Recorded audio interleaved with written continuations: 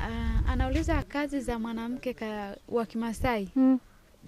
yaani kazi zipi labda anazifanya? Hmm. Anafanya kazi nyingi sana. yani Yaani mwanamke wa Kimasai anafanya kazi kweli. Mwanamke wa Kimasai ndo anajengaga nyumba. Mwanamke wa Kimasai ndo anajenga nyumba, ndio anaangalia mifugo kama ziko zote.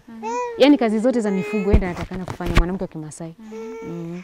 Ana kazi sana mwanamke wa Kimasai. Na wanaume wa Kimasai wanafanya nini? Oh, kukaa tu. Oh, anakaa tu.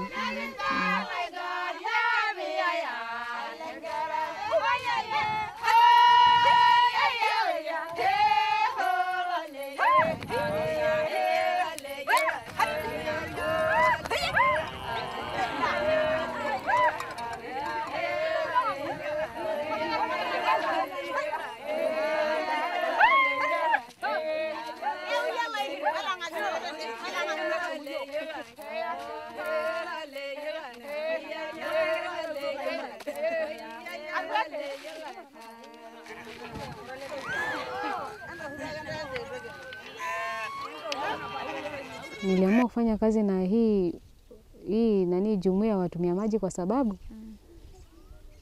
sisi tulikuwa tunapata shida sana ya maji. Tulikuwa tunapata shida sana ya maji. Tulikuwa yani tulikuwa hatuna maji kipindi hicho mimi nikiwa nimeolewa mimi. mm. Tulikuwa tunatokaga kule kule Muguri kuja mpaka huku Njoro saa zingine kuja kutafuta maji huko Njoro. mm. afu ukija saa zingine haupati. mm. Saa zingine tuende mpaka kule milimani kule juu. mm. Tuende kutafuta kule juu. Ndio sasa hii shirika ilipokuja kutuchimbia maji, basi wakawa wamechagua kwamba wakawa wamesema kwamba kuna watu ambao watakaochaguliwa wa kusimamia maji. Basi wana, wana watu watumia maji wa jumuiya ya Kremeta wakanichagua mimi kwamba niwe mhasibu wao. E, na mimi nikaonelea kwa sababu na mimi nilikuwa nimeolewa pale sina kazi yoyote. Basi nikaona kwamba niweze kufanya kazi na, na, na hii shirika na, ya, na hawa jumuiya ya watumia maji.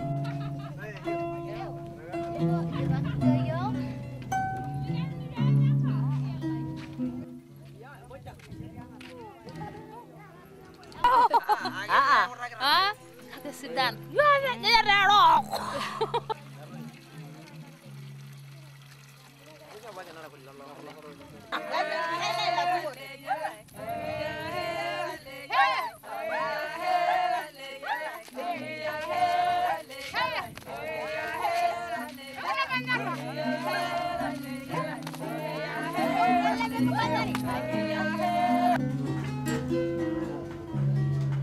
will talk about the first step to improve development in this sense that first, uh, for anyone to be developed, you need to be healthy.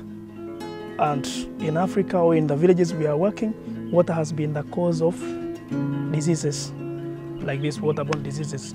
So improving the quality of water leads first to people being healthy and also increasing the capacity uh, saves people's time. That instead of walking a long distance searching for water, you have little time. You just walk somewhere, you fetch water, you come back and continue with other activities. People know that they need water. They need water because they can feel thirsty, they can see dry, dirty clothes, they can see their personal hygiene is dirty, they can see the environment is not clean. They know. But to who? To, to who are you addressing this problem? You understand? So this is, this is the main. So people, if, they, if, you- if you have to say the community awareness should start from here. People to know they are right, and then once they know they are right, to who do, I, do, do they are addressing this right? Yeah, from the from the ground level, you have council leader, you have street leaders, you know, you have uh, the ward leaders.